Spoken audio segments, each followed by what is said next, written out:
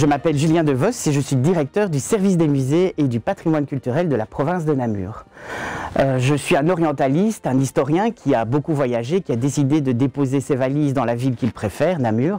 Et on dit de moi que je suis enthousiaste, passionné et que les défis ne me font pas peur. Alors justement, mes défis pour demain, c'est faire rayonner tout le service du patrimoine et des musées partout dans la province de Namur, au travers d'expositions itinérantes ou directement dans les musées, mais aussi de le faire rayonner à l'international, à Paris, voire en Allemagne. Pourquoi pas